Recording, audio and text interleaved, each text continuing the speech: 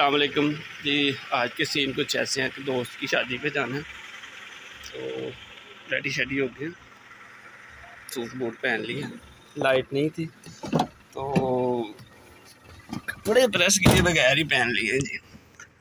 अभी निकलेंगे, मेरे साथ हैं। कटिंग कैसी है by the way first time ऐसी कटिंग करवाई है यार। तो मेरे साथ दो दोस्त और हैं, उनको लेंगे और बस रोड की तरफ़ निकलना है। हाँ जी भाई ये दाना भाई आ गया। और ये अमार भाई जिम लगा लगा के रंग काला हो जाएगा। तो टाइम हो गया जी ग्यारह बज गए हैं। साढ़े ग्यारह बजे तकरीबन हम गाँव से निकल चुके थे क्योंकि बारात जाने से थोड़ी दूर पसरूर से आगे पंद्रह बीस किलोमीटर तो इसलिए टाइम पे निकलना पड़ा। दानिश अमार और हसीब हम तीनों थे और हम बस निकल पड़े जी।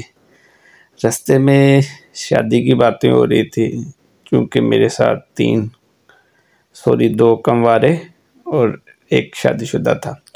तो सफ़र का बहुत मज़ा आया जी। गप्पे लगाते गए और रोड बहुत टूटी हुई है। अगर आपको मौका मिले कहीं ऐसी रोड पे जाने का तो मैं तो मशवरा दूँगा कि ना जाएँ। बहुत मफीद मशवरा है। उधर पहुँच के जो इंटरटेनमेंट हुई खाना और जो भी फ़न हुआ बहुत ही कमाल का था सब कुछ बहुत कमाल का था।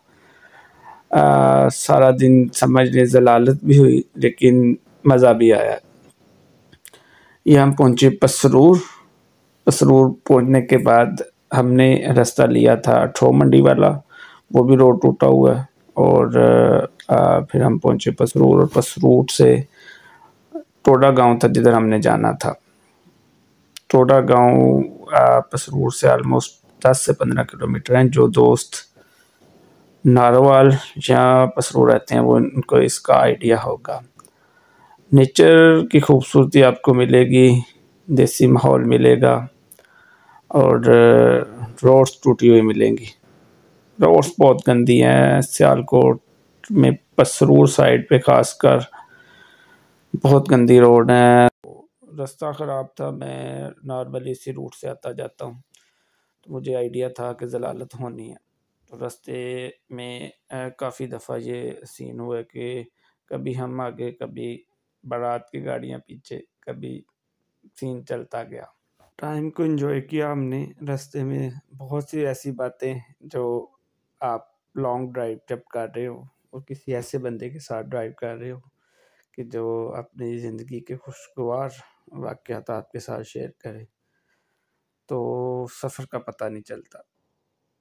मुझे रोड की साइड पे जो दरख्त हैं, वो बहुत प्यारे लगते हैं। ये हम पहुँचे टोटा गाँव के पास।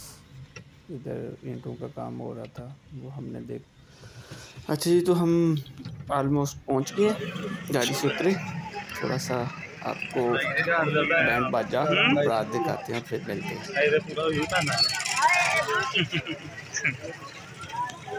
ब्यूटीफुल ब्यूटीफुल ब्यूटीफुल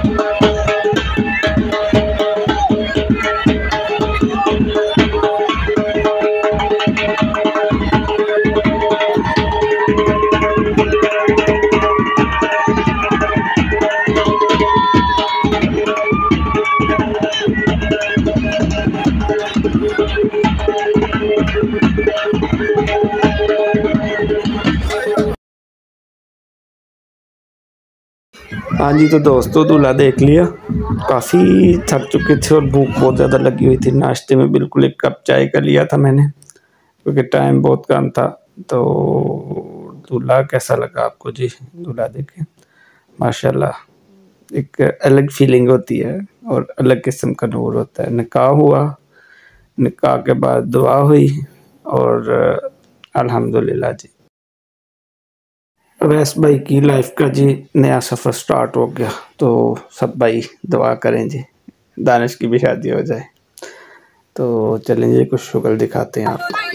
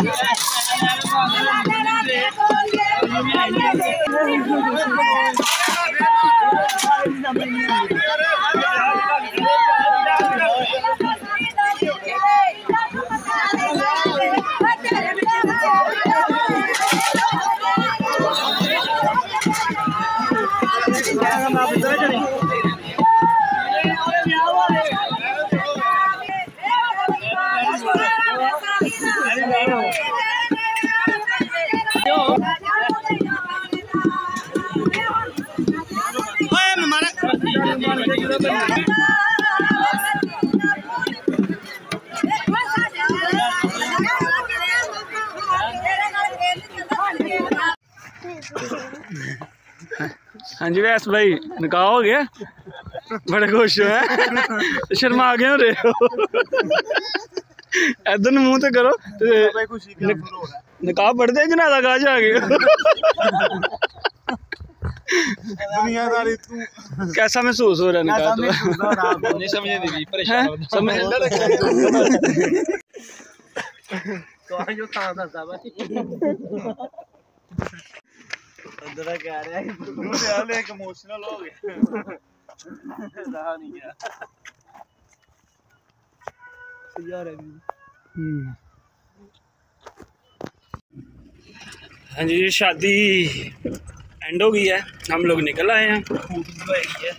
इंजॉय किया जी। हाँ जी मार भाई मज़ा आया? बहुत ज़्यादा खाना माशाल्लाह बहुत अच्छा था। और मैनेजमेंट भी बड़ी अच्छी थी।